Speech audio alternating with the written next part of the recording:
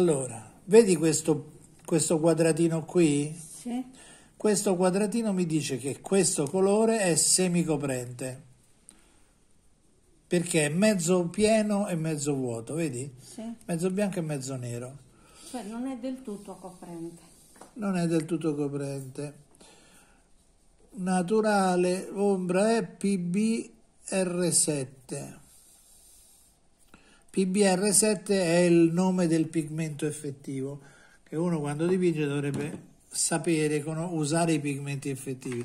In genere questo tipo di serie che sono da studio delle, sono, sono, simulati i colori, non sono, cioè sono come dice, dei, delle copie, non sono i colori originali quasi mai, tranne che le, le, le terre, perché le terre sono, costano poco.